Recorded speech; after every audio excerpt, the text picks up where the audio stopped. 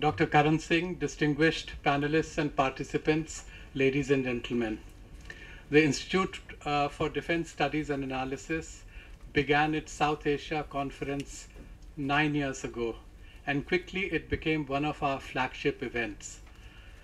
Over the years, as also this time, it has brought together an eminent group of South Asian academicians, scholars, practitioners, civil society actors, and policy makers and shapers. The abstracts and texts of the papers provided uh, to us reflect the remarkable quality of the presentations. In the past, this conference has straddled the areas of stability, security, terrorism, growth, and development. Last year's theme was the role of media in promoting regional understanding in South Asia. And following from this, culture as a factor in regional cooperation in South Asia was a logical choice for this year's event. We begin this year's conference by an inaugural address by Dr. Karan Singh, a many-splendored Renaissance figure of contemporary India, scion of royalty, who uh, has waded into democratic politics, historian, writer, and philosopher. Dr. Singh was president of the Indian Council for Cultural Relations and is currently a member of the Rajya Sabha. He still holds the record in India of being the youngest ever cabinet minister. He will be happy to know that some of our panelists are also really young. Uh, Deputy Minister for Information and Culture of Afghanistan, Syed Musaddiq Khalili, if you could stand so that the audience can see you. Thank you, sir. Mr. Arif Dostiar, Mr. Sange Chopal, uh, Dr. Azra Nasreen, and uh, Dr. Yakub Bangash.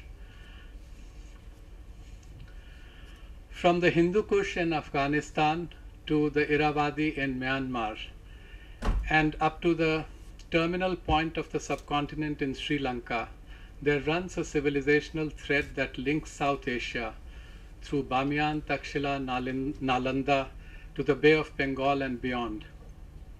Quite deliberately, the forms of our, the focus of our conference is not on the common civilizational space of South Asia, but on the role of culture in regional cooperation.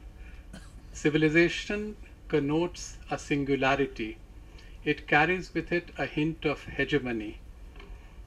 Culture exists at different levels, national, regional, and local. It expresses itself variously through cultural artifacts as much as the intangible, disembodied ways of life followed by a community or social group. Culture can divide as much as unite. The social context and political dynamics determine how cultural connectivity is used as an instrument of fraternal coexistence or a tool for fractious divisions. Our effort here will be to look at the existing ruptures, some caused by the compulsions of nation building in a subcontinent that has been fractured physically and psychologically. In the final session, our effort will be to seek out the healing factor of culture for uh, uh, overcoming the ruptures caused by history and politics, and uh, in explaining how uh, cultural connect across communities can play a positive role in building people-to-people bridges across national frontiers. In seeking positive uses of culture for regional cooperation, we could perhaps lean on the inheritance of Rabindranath Tagore, his values and vision of being at home in the world is best reflected in the poem from Gitanjali, which all of you know, where the mind is without fear. The school set up by Tagore in 1901 was called Shanti Niketan, the abode of peace. And 20 years later, Tagore started Vishwa Bharati, inspired by a Vedic mantra, Yatra Vishwam Bhavati Ek Needam, where the world rests in a single nest. Tagore is the only poet to have authored the national anthem of two nations, India and Bangladesh. For positively using culture, we might gain by following Tagore's tread, his legacy, and his dreams. We have to learn from Tagore's profound aversion to dogma and his equally deep attachment to reasoning. His quest for transcending the narrow confines of nationalism, his wariness towards the ill effects of Western civilization manifested in imperialism and the carnage of the two world wars, and his elaboration of Asian universalism can be a beacon for us today.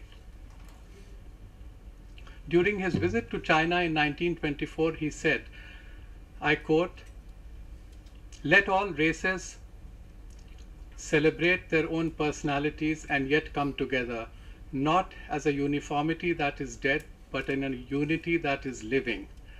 This is a message that should reverberate again from South Asia as much as from Asia as a whole at a time when its economies have been unshackled and an uncertain world is seeking new moral moorings.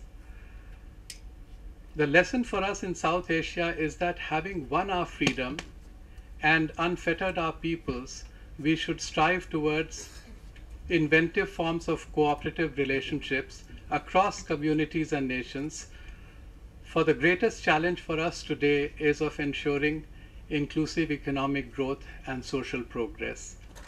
I thank you and we'll move now to the next stage of our inaugural session.